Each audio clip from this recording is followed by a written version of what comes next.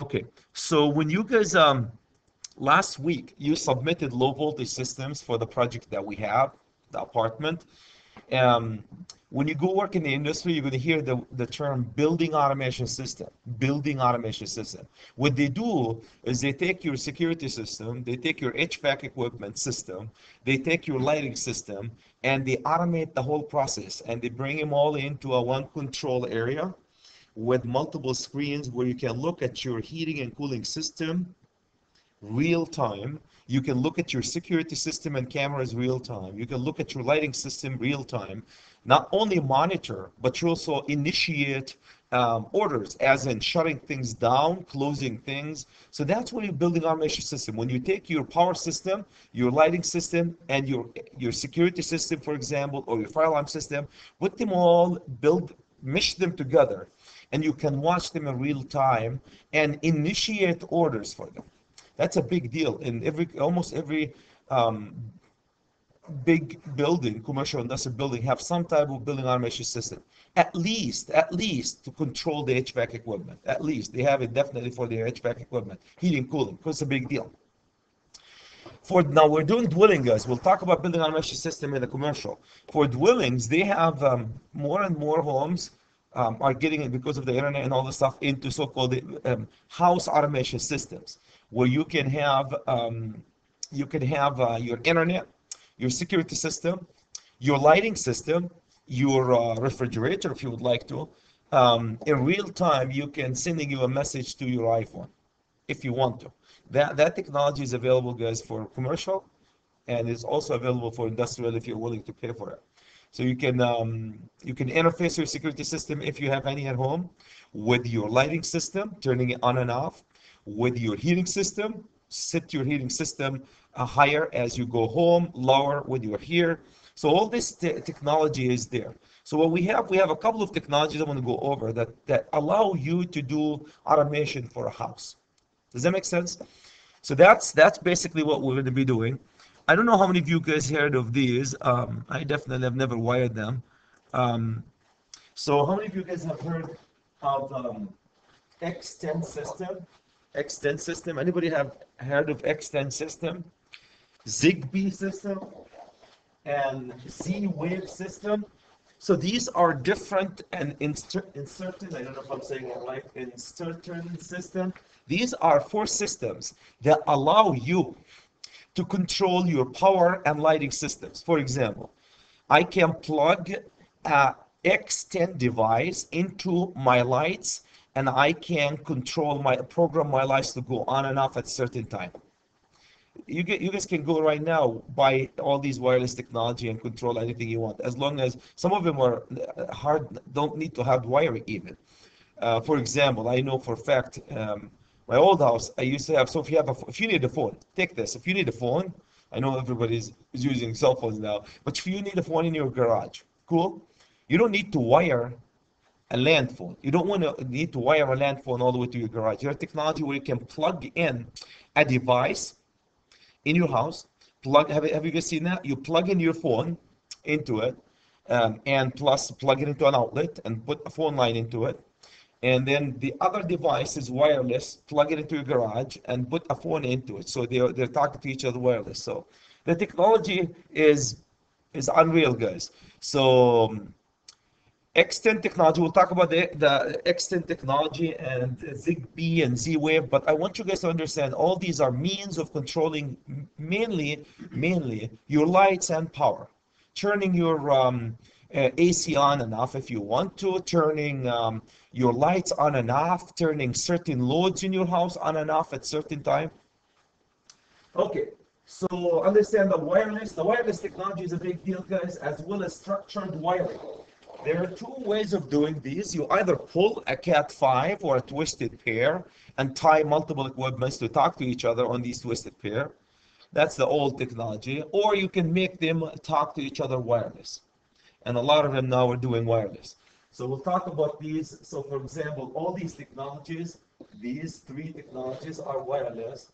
Um, an X10 system is also almost wireless because they use um, they use a power line. Terminology that they use we'll talk about the technology that use this for the for home, so-called home automation. It's not building automation, it's home automation. You're going to hear this one when we go industrial to building automation system.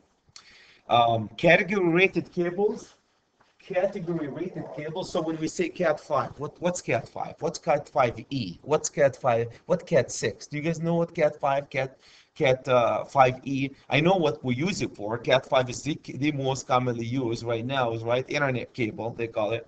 We'll talk about these ones. So these are the technology that we do. Um, X10 technology, believe it or not, I don't know, anybody have wired them? I've seen them. What you do with X10 technology is really interesting. The concept of X, X10 technology, you can plug. So if I want to control a light, right? If I want to control your laptop when I turn it on and off, okay, well, it has a battery. Say a light right in front of you, I will plug in an X10 technology outlet, plug it into one of these outlets. And then that will be sending a signal over the power lines. I think it's really cool because it sent the um, X10 technology send a signal over the power lines, the power wires, into the controller, and the controller vice versa. They can talk to the controller over the power lines. So you can turn it on and off, program it at a certain time. They don't use wireless. They use the cable, the ca the um, 14.2 and 14.3 uh, um, to communicate. Okay, a little bit about technology, guys. Look at how old this technology is. In 1975, Scotland, where it's invented. Um, simple, lowest cost. You don't don't have to do wireless in it. It's not wireless. It's unique in that you can use that 14.2 and 14.3 and 12.2 and 12.3 over the line. You can impose a signal to go talk to devices over the power lines. That's really, I think it's really cool. Uh, carrier wave signal superimpose. Here's the term that they, they use. Superimpose on existing WAM system. What they do, guys, here's the signal. Here's the uh, 60 hertz signal that you, that the this is your power signal. This is my power signal. What they do inside the power signal on, on the number 14, they put a, um, a communication signal, which is a lot of frequency here into it. Can you guys see that? This is my 60 hertz, 60 hertz. And then they put uh, a few kilohertz, kilohertz signal on the same 14.2. This, this line here is 14.2 or 14.3.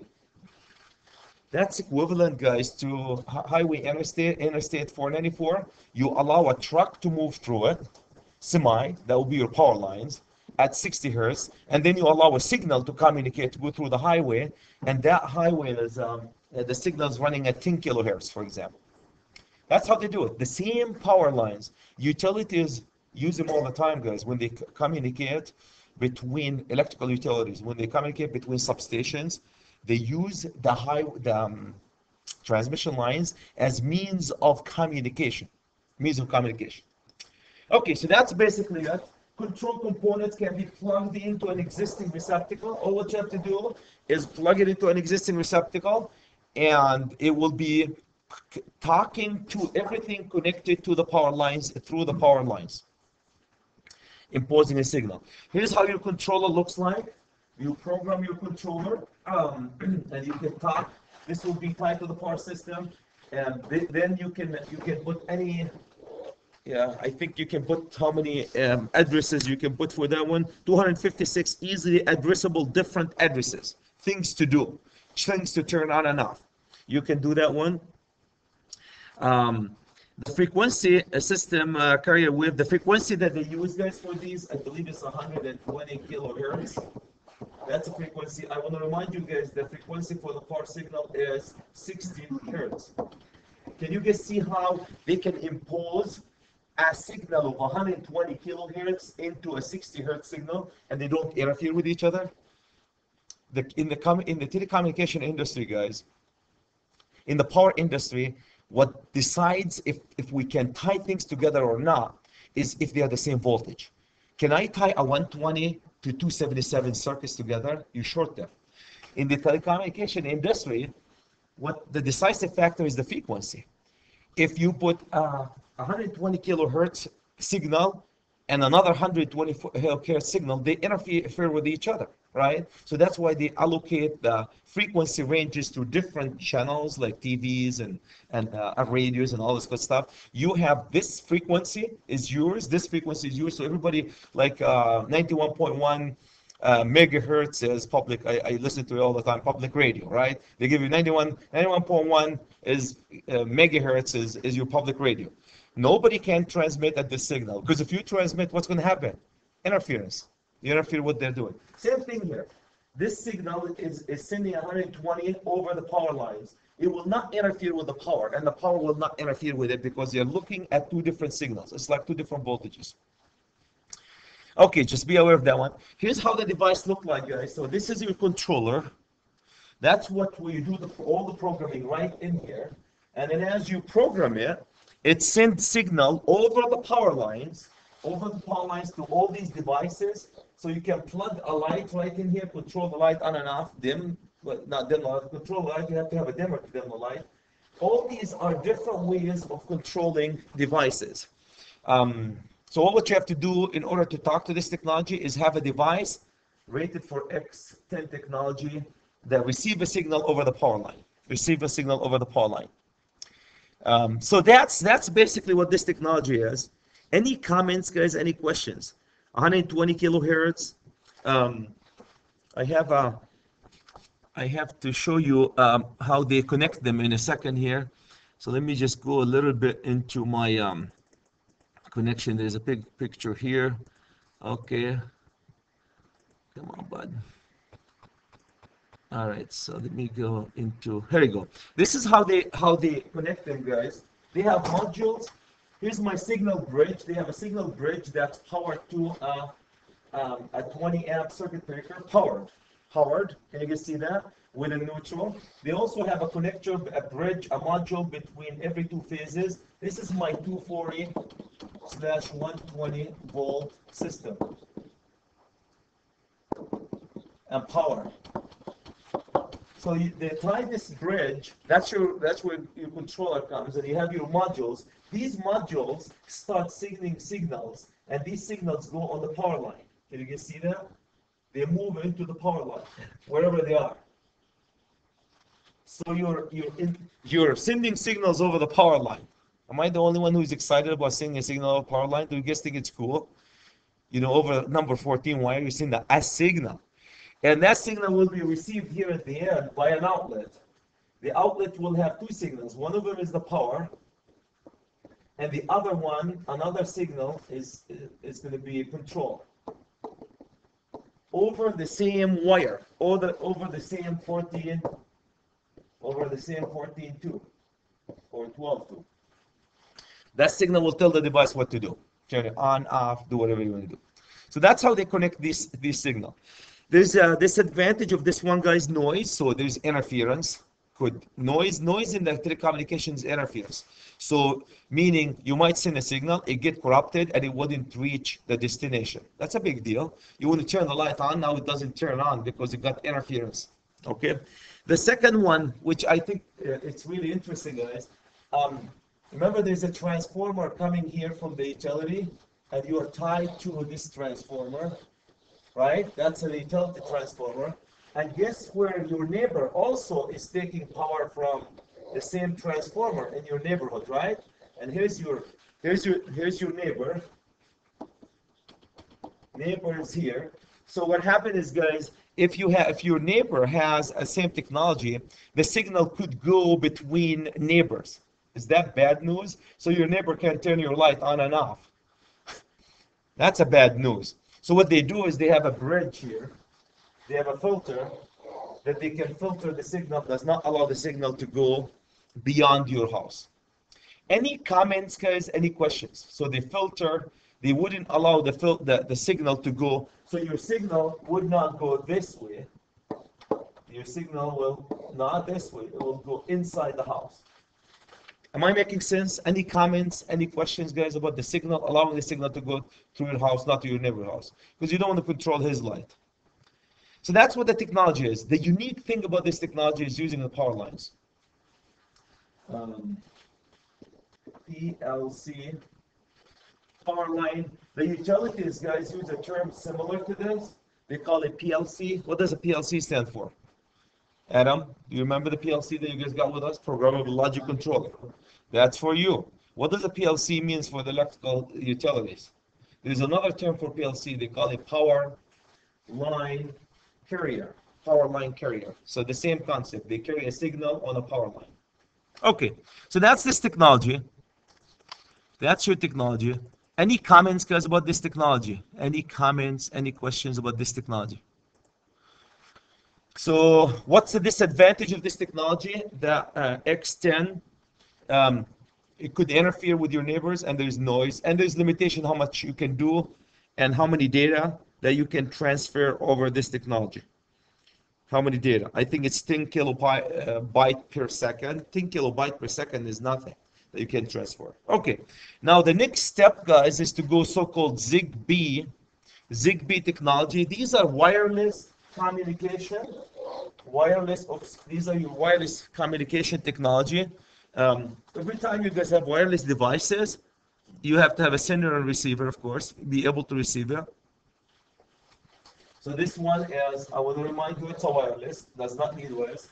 Communication system that use low power radio frequency. Low power radio frequency. Um, okay, so wireless personnel, that it's like you're aimed at your network.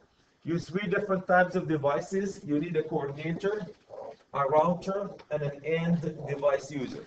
So um, it's like you would have a controller sitting in there. You program your controller. You have multiple devices that can talk to this controller and receive signals from this controller controller to do certain things, as in dimming your light, turning your microwave on and off.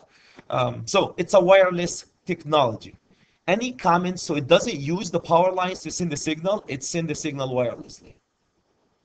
So a few things about this technology and I've not installed it, guys. There's a you can go up to 2.4. It looks like gigahertz on these. 119 megahertz. These are the frequencies that they use. Um, multiple things that you can do out of them.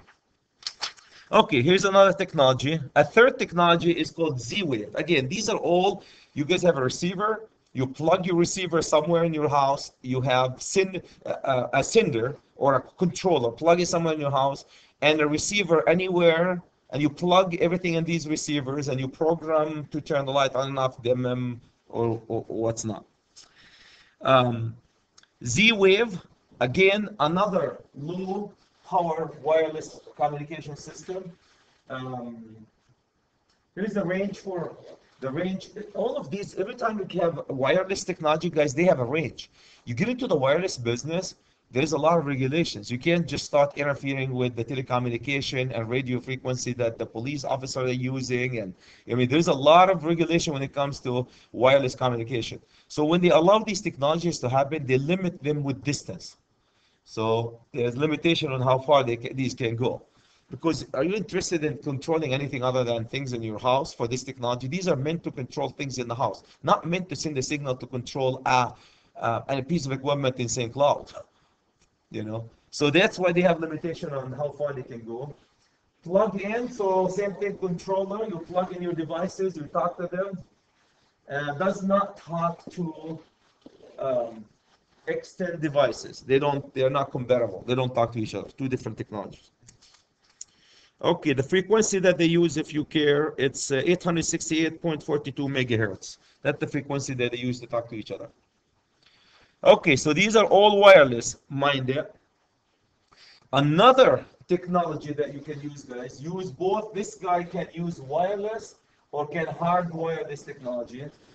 Um, they can talk to the devices on X10 devices. Why do they care about X10 devices talk? Because X10 is the, the oldest technology. So if you have it in your house you and you need a new technology, are they compatible? It's a big deal. So that's an advantage that's compatible with the existing one. You can do a lot of things with these, like anything else, guys. You can turn things on and off. Your lights, turn them or dimming them. Um, security system sensors, alarms, heating, cooling, humidity, door locking, control of appliances, So you can um, you can literally control every single thing if you so decided in your house. You can uh, turn your thermostat lower when you're here, higher in the winter when you go home, just half an hour before you go home. You can, um, if you leave food in your microwave, you can turn your microwave on to cook your food for you. Um, so you can, uh, humidity and, and cooling system is a big, big deal. Lighting is a big deal with control most of the stuff that we, we like to control, guys, in an automation system, really the most important thing is heating, cooling, and lighting. These are major loads. When you have building automation system, almost every building have some means of controlling their heating, cooling, monitoring and controlling their heating, cooling, and a lighting system. Um, then everything else, then they add the security, if you have security interface with it, and fire alarm, so you can talk and see what's going on in your fire alarm system. Any comments, guys, about um, this technology, another technology that you can use to have uh, home automation. This baby, if you're using it wireless, it uses 131.65 kilohertz. Okay, so these are, um, so everything that we said, guys, are wireless or using the power line so far. Then you, you then we can use uh, so-called structured residential wiring systems. That's when you use Cat5 to wire your house to a controller and you can pull all this information through a cat5 you know that's what they do guys for most of all these uh, uh, building automation system. They take uh, a similar a twisted pair to the air handling unit or a cat5 they take a cat5 to the lighting control panel. They take a cat5 or similar to your security panel. They bring them all to one big controller and then they, with a program they start pulling information from them and sending information to them so now you're getting into a complete local area network. You're networking the whole house, networking the whole house. So if your refrigerator has a Cat5 connection, guys, you just put Cat5 in your in your refrigerator. You can pull all of but it has to be, and a lot of equipment can be, guys, have a controller with them. So from that Cat5, you can pull the temperature in your refrigerator. You can pull whatever information important in that refrigerator. Um, okay, so as long as you pull it as a, a, signal in a Cat5, you can interface it with the software. You can see it right on your screen. So that's your structure wiring, so-called. Um, combination outlets. For these, you need a combination outlets and central distribution system. You guys, with your friend Chad, um, you have a hub like this one. You bring your all your Cat5 to this hub. There's a programming that you have to do into these hubs and then now everything that you want to put in the network will be accessible for people who have access to this network. It becomes network. I mean, then you put it, you interface it with uh, uh, with the internet, and now you can access it from anywhere else in the world, wired or wireless, wired or wireless. Any common comments, any questions about structured wiring? The structured wiring that you guys did with your friend Chad is we have Cat5, we have data outlets and phone outlets that I would like you guys to do, wire it. Um, so my expectation was is to pull all this information for Cat, uh, Cat5, and twisted, pair, and coaxial, um, and security panel. All these guys system that you did for the apartment building, you put them in one low voltage, low voltage cabinet, low voltage cabinet. You put them in a low voltage cabinet. Any comments, any questions about structural wiring? You have your security system wired, your Cat5 wired, um, your um, coaxial cable, of course, wired. Uh, what else? Um, telephone lines is wired, and all these can be interfaced, guys and then they can talk to each other into put them in a cabinet and if you want them to interface then you can interface them. As when they say interface as in talking to each other. You don't have to have your security system talking to your internet or your phone line though you can. Most of security panels guys have a line where you can put the phone put a phone line on it so they can dial you if somebody is to break into your house or dial the company that protects uh, that monitors your security system Okay, here's what service center, they call it service center, looks like, guys. A hub for structured wiring um, with telecommunication. Look what you can put here. You can put your telecommunication, that's phones, the audio, your video, and home automation control system, as well as controller installation. So you can you can have your phone, data, um, internet, as well as your automation controlling your equipment right into a controller like this. Um, and and and a lot of them guys right now you can access it from uh, your smartphone. You can. I want to see what's happening to my refrigerator today because I miss her, right? And you can dial and you see what's gonna happening in your refrigerator. I want to see what the temperature of my house today. You dial and you can get see what the temperature in your house. So if you want to, um, you were laughing at these because homes we care a lot less. There's a lot of guys, um, you know, Egan and all these companies, uh, they they monitor churches and buildings remotely. Do you really, in the middle of winter in Minnesota, do you want your heating system to fail in a church or in a building so all the water will freeze and major damage will happen to your building? Do you want that to happen? Nobody's there at night. So the all these system guys are, are wired, interfaced, monitored remotely by people so they can monitor. So literally over a weekend, if the monitor, if the temperature in that church or in that building goes below a certain threshold, you will get you will get a message on your cell phone or whoever in charge to go check on the heating system in this building fails. So you can uh, you can act before you freeze the water into that building and make a major major damage. So it makes a lot of sense, guys, in, uh, in um, when you're dealing with a commercial building. If you have a cabin, that people are using this technology for cabins, guys. You have a cabin up north, and you go over the weekend, and you have heating in your cabin. Now, what? Who's going to monitor your cabin when you're here?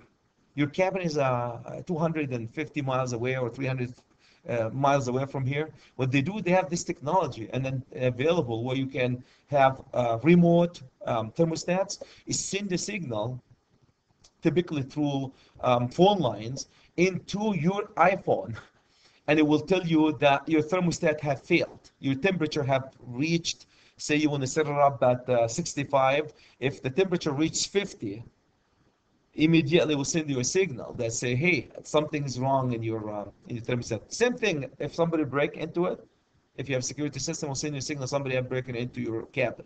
So the technology, I want you to know the technology is there. Any comments, any questions? Any comments, guys, any questions? So that's what your structured wiring. Um, cable types installation recommendation. There's a lot of standards when it comes to communication cables, guys. Installing communication cable. Chapter 800 in code book has tons of information. Um, optical fiber cables have UL standards. So there's a lot of standards that tells you what to do things. The most common denominator between all these structured wiring, very simple.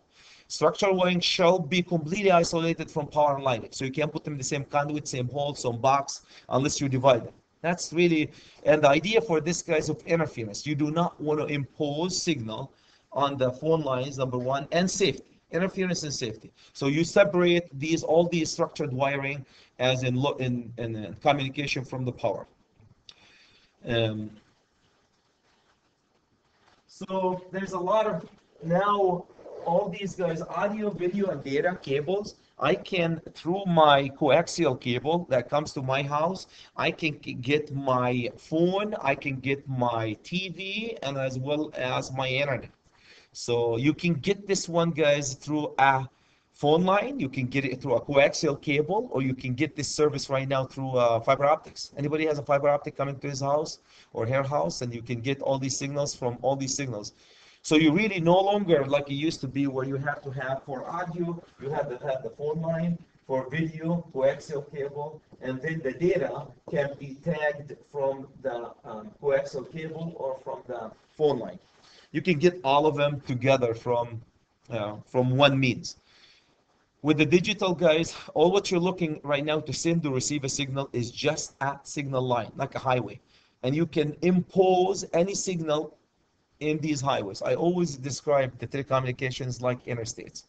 Can you you can any anyone can drive a car or a motorcycle or semi or a truck into the interstates. Think of each one of these as a signal. One of them, the semi, will be my TV signal, my video audio signal. My phone signal would be, see, a car. Um, I need my internet will be a truck. Does that make sense? All of them using the same highway though. Why would you be able to put all these signals in the same highway? Because they run them at different frequencies. Um, digitally, different frequencies, modulated differently. So as long as you keep the distance, when you're in the highway 494 driving, as long as you keep a safe distance between you and the truck in front of you, you can run forever. And that's the same thing with these signals. And as long as they keep a threshold, a frequency threshold between them, don't jump here in the frequency wise. Don't push in front of the one in front of you. Otherwise, you crash. What is a crash in telecommunication? Crash interference. That's exactly like a highways. You don't, so you leave the threshold, the distance between you and the car in front of you. That's the frequency threshold that they keep. Don't, don't transmit at this frequency, and we're happy. Okay, so there any comments, guys? Any questions about these? Comments, questions about telecommunication? There's a lot of cables that you can do from coaxial into Cat5 into my understanding, I'm not an expert again of, of telecommunication. Right now, there is nothing you cannot solve uh, with cat uh, without a cat 5 i mean there's so for example can i use a cat 5 for my security system? Bring it on. Can i use my cat 5 for telecommunication between my uh, my um, devices? Bring it on um, internet bring it on phone bring it on. So cat 5 if you don't know and you want to talk to a piece of equipment just take cat 5 cat 5 give you 8 24 conductors. It's like eight think of it as eight lanes in a highway. Can you guys when you say cat 5 think of it as eight eight conductors means eight lanes. What does eight lanes mean in a highway? Speed.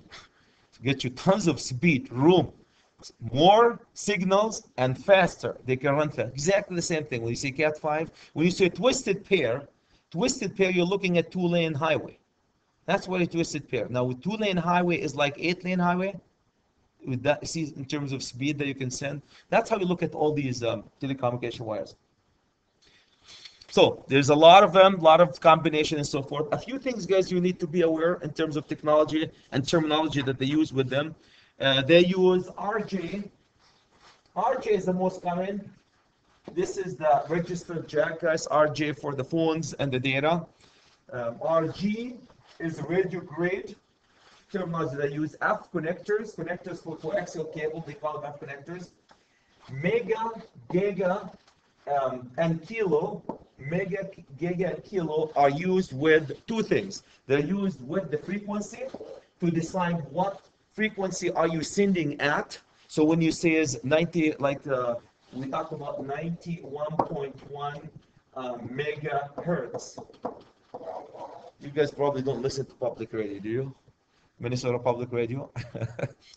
Any frequency, what radio do you listen to? Which frequency do they run? Uh, 100.3. Here's 100, 100.3 megahertz. So those guys, those are running at different frequencies. If you run, if broadcast at different frequencies, if those guys to use this frequency, they will interface. They will, they will uh, um, they will kill each other's signals, right? That's why that. So these are two cars running in the sky. Is imagine running in the highway, at and and, and maintaining a space between them. That's how they run them over the, um, you know, in the air. Run all these frequencies in the air. Okay, so gigahertz is a big deal. So mega, kilo, mega, giga. The higher the frequency, the more powerful the signal is. That's how they, they I believe when you do satellites, they start doing gigahertz, shoot the signal more frequency, more muscles to the signal. What does more muscles mean for frequency wise? Longer distances. I can shoot longer distances. Um, the federal government regulate this, all this guys. It's not up to you to grab a transmitter and start sending any signal you want here. There's a lot of regulations. Um, okay, hertz, obviously that's how we measure the frequency. The notorious, the famous frequency that we have is 60 hertz. We in the power industry use 60 hertz. Look, look, can you guys compare the 60 hertz that we use into into uh, 91.1 megahertz? See how much how bigger the frequency was? Because this is we're not interested in sending information with this six with this 60 hertz. What are we sending? We're sending power. We're not interested in sending information, right? when you when you get a 60 hertz to your computer, uh, to power your computer, are you getting signal out of it? You're getting power, juice. Okay. Um, they run um, 400 hertz. They run 400 hertz equipment. Their equipment that run power-wise at 400 hertz. Okay. So this is byte per bytes per seconds. Um, Derek, do you have an internet? Do you know what your speed is? Is it 10 megabyte per second? So right now, a lot of them, they can get you 10 all the way to 40 megabyte per second, um, megabyte per second. So that's 10 to 40 megabyte per second.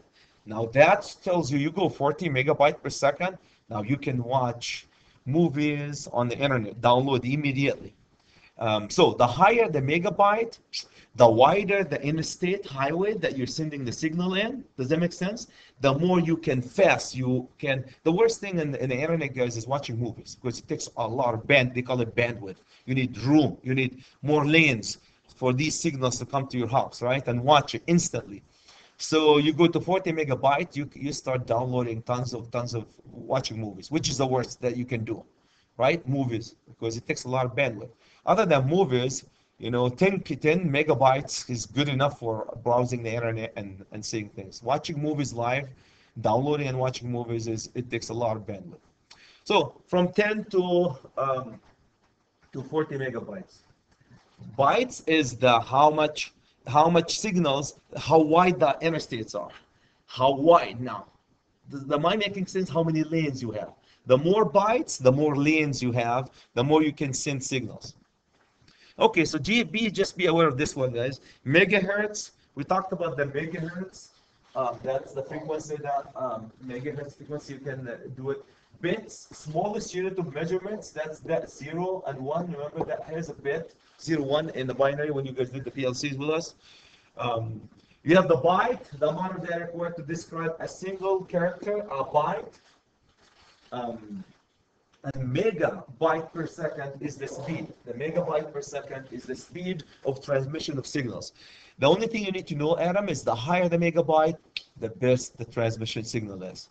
As we all know, right? More data. I can watch real life movies.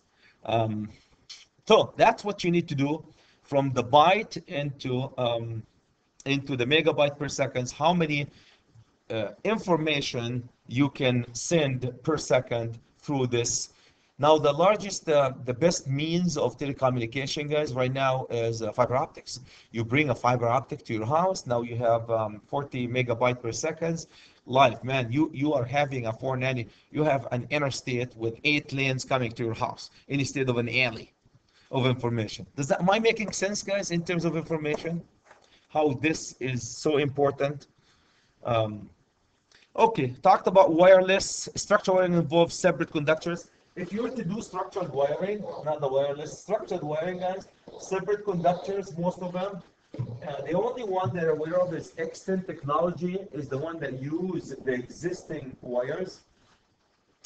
Um, both wireless and wired technologies can can monitor and control devices. So either use a Cat5 to monitor, or you can have um, you can have a wireless. Like at my house, I, ha I have a wireless um, um, Ethernet and then transmit through the whole house like a lot of you guys have, and you can receive the signal and do a lot of stuff, a lot of damage with it.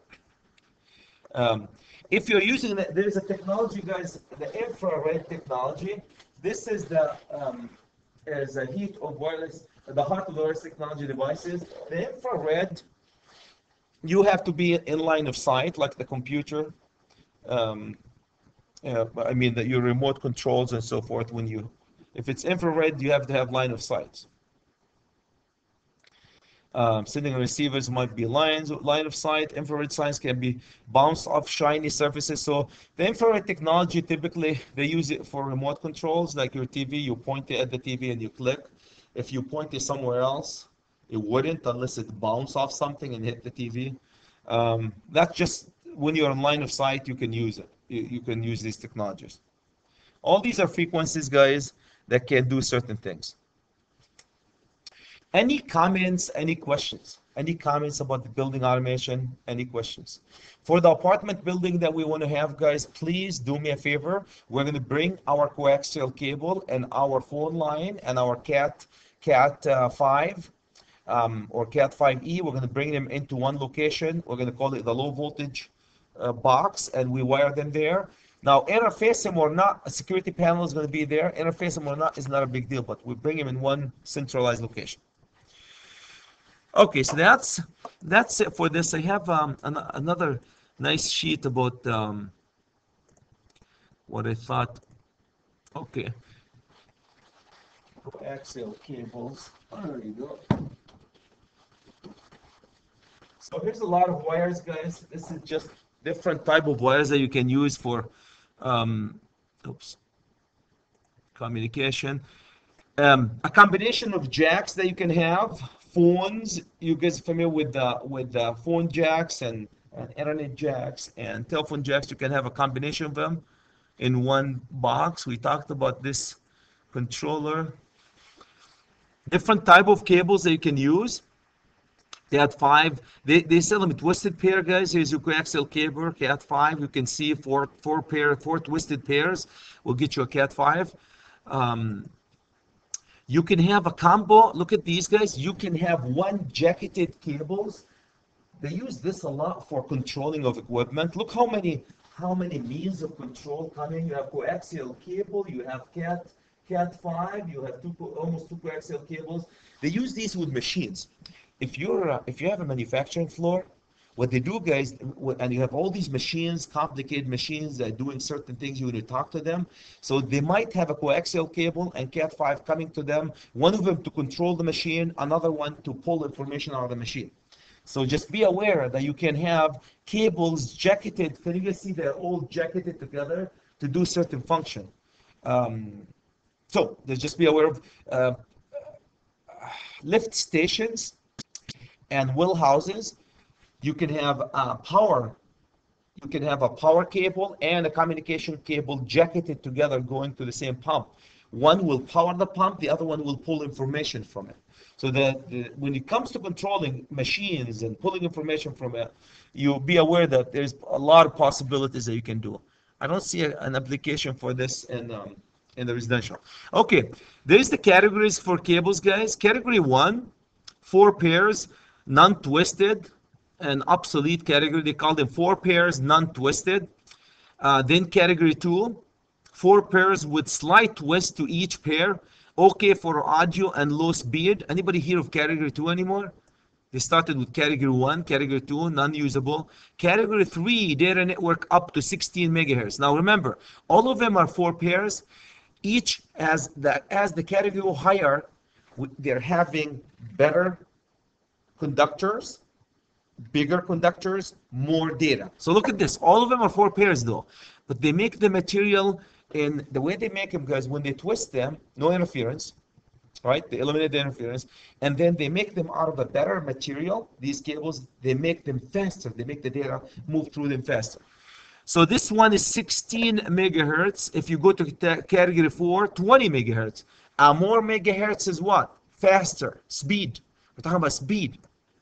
Um, look at the category 5. That's the most common one. 100 megahertz.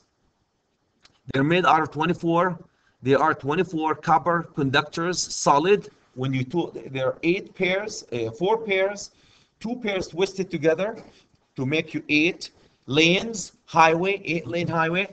And then they are, my friends, a gauge of 24 and the speed that you can run there it's 100 miles per hour. So like think of the 100 megahertz like 100 miles per hour versus do you want to drive down for 494 with 60 miles an hour or 100 miles an hour? Can you guys see the the you know the connotation of, of how important the um, the speed is? Speed information. Then there's 5e the most common guys. Look at 5e can get you all the way to 350 miles miles per hour or megahertz so it's like driving, instead of dri- allowing you to drive 100 miles an hour by the highway, now you're driving 350. You can push more data, right? So that's 5E is, the most advanced now. There's also 5 um, category 6, which is um, not used. Um, four twisted pair data up to 250. Um, so it's supposed to be um, interference, minimize the interference. So it has a, it's better than 5E, the, the bigger the category. And 5.7 can go as high as 750 and I believe not yet standardized at the time of publishing. It's not standardized category 7. So everything that we do right now is what? Category 5E. A lot of, if you go to the engineering firms when they specify category 5E. But category 7 is supposed to get you, how do they make them? They're all twisted pairs, guys. They make them out of more purer material that allows the data to go faster through these highways. If the data can go faster, then you can put more megabyte per second coming to your house. Who cares? Speed. Speed, speed is a big deal. Then you can watch uh, instantly what you download from the internet. Any comments, guys? Any questions about these? So what you need to remember for our project is 5, Cat 5 or Cat 5e is what we'll be using. So that's my, um, talked about this, talk about these. Twisted pairs. Okay. Any comments, guys? Any questions about that? Any comments? Any questions about home automation systems? This will transfer next time, um, Karen, into building automation. When we start doing commercial, we're going to do building automation. We're going to control the air handling unit, the chillers, and all this good stuff, and security system pulling it all together. Um, anybody has some type of uh, uh, home automation? At, I don't. At your house, you haven't. I mean, like where where you can bring your security system and cat and TV and everything else in one centralized location, monitor them. Um, a lot of us have internet, of course. So you have wireless network, internet, and um, where you can receive your audio, video, or data through. Any comments, guys? Any questions? Comments, questions? So be aware of that one. Okay, I'm going to give you guys uh, 10 minutes and I'm going to talk about generators topic, a really nice topic uh, for one more hour if you don't mind. So go, go stretch yourself, do what you have to do.